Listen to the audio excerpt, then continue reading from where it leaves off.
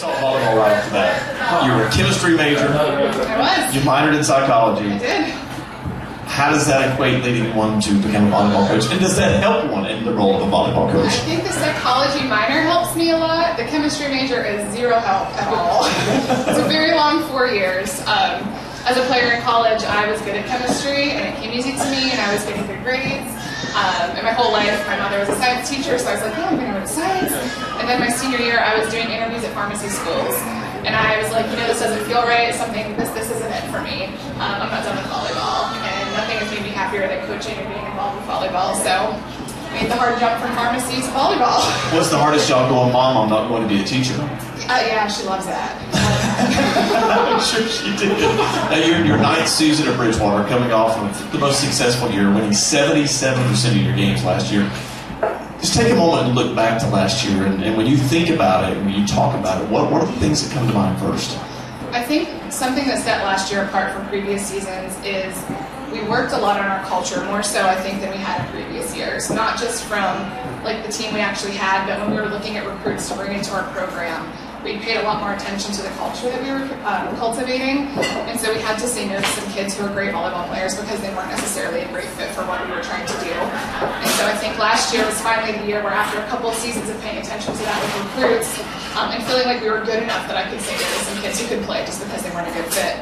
Um, I think that that was was huge. We had great leadership, um, and just the right kids had the right amount of experience, and I think it was just like a perfect storm of, of things that came together for us. Now, we've determined that because you were good last year doesn't mean you're going to be good this year, although you're pretty darn good this year. So, But are you seeing direct runoff from last year, the success and the extra practices and this spending more time together as a team? I think that the, the team culture has evolved from last year. We have a lot of different personalities, and we had some strong personalities that have graduated.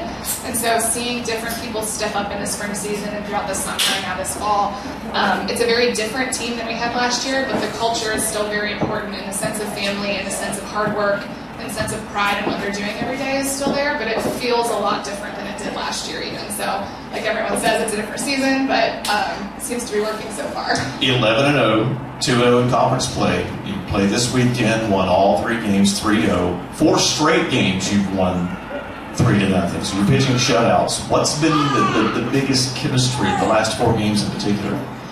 Um, I think the last four games, even we have gotten. I think everyone, everyone on the roster has gotten to play.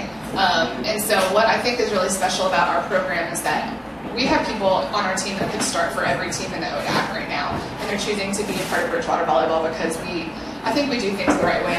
We, yeah, I think we do things the right way. So even though we're flipping people in and out, we're moving lineups around, and we're giving other people game experience in matches that matter with teams that have taken a set from us before. There's not this feeling of like, ooh, starters versus non-starters. I think that everyone is very cohesive.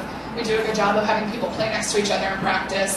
Um, and the team is just they trust each other. And I think that really matters, and that shows in our scores. Are you seeing it from the sideline when you when you bring a starter off? You put someone who typically wouldn't be in that role. Are you seeing them turn into the cheerleader and turn into the to the, uh, the other role for the team? I honestly think our bench is more intense and more exciting when the starters are not in the game because they cheer so hard. Like if you could watch one of our games when our starters are not in, they are the hardest cheers and they're coming up with ridiculous things that are happening on the sideline and they give so much energy and so much positive trust and faith to the, the people that are gaining that experience that they already have. It's really cool as a coach to see that happen. That's what you want. The Bridgewater College recruits itself just when they, when you get them on campus. Getting them there is somewhat of a challenge. And I noticed a lot of your players have not all of them played on the club circuit. Is that the easiest way to go out and find players who fit the chemistry you're looking for now? It is just the way that club volleyball has kind of evolved. Um, people don't really recruit at high school matches much anymore um, because I can go and watch a match and see a very limited number of players, or I can go to a club tournament where there are 500 plus teams and there are 200 courts set up, and I can spend a weekend evaluating hundreds of players. Um, so I think club is definitely, in terms of recruiting, what we focus on the most of our energy and the most of our, our resources. Do you still, though, come across that diamond in the rough that doesn't do the club circuit? Yeah, you know, and, you, and how hard is it to find that player? Uh, it's hard. And normally it happens, they'll either reach out to us, um, and it's someone who maybe doesn't play for a great club or doesn't play for a club at all. Um, and that's a situation where we would go watch them play in high school, or we invite them to come to like our prospect clinic or a summer camp where we can really get to know them. Because it's hard a lot of times to evaluate how a player will transition from the high school game to the college game.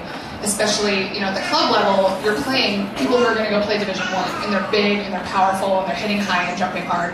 Um, and at the high school level, you don't always see that, so it's it's hard to evaluate how they would look against that kind of competition at the high school level. But we definitely have ways around that. Um, but a lot of times those diamonds in the rough, they come to us or we have coaches reach out to us that we have good relationships with that think they have someone that could be a good fit. And we certainly have had success from players like that. Um, Deja Booker last year graduated. She was a senior right side for us. And she was someone that kind of fell into our laps. Um, a coach reached out to me and said, hey, did you hear this girl from Roanoke area? Um, and she did not play anywhere that we had seen her before, and she ended up being a great player for us. So with the club, with the, going and watching so many teams play, has that broadened your recruiting base a little? Are you getting into areas because of players coming from different places? How, how has that how has that affected your recruiting? Um, a little bit. It mostly just allows us to be a little bit more efficient with recruiting. Um, so we're we really get the most of our draw is from Virginia, Maryland, North Carolina, um, some Pennsylvania interest, a little bit of Florida interest. People coming up. There's not a lot of D3 down there. Um, but we are still a very regional school. Um, just having the tournaments set up the way they are allows us to see all of them at the same locations and be a little bit more efficient with that. Uh, you're two, I think two this week. Talk about the first one, I believe, on Wednesday that you've got coming up. Yeah, so we uh, we play Roanoke on Wednesday. Um, that's going to be a really important at MAC. That's a team that is very, very good. They have one sophomore outside hitter. Um, who, if we can shut her down, I think we're going to be in good shape. But she's a force to be reckoned with. I think she was an all, honorable mention All American last year. Um, she's she's very good, so she's someone we need to pay attention to. Well, best of luck. Thank you for taking time to get out. We appreciate it very much. Erin Harris from volleyball.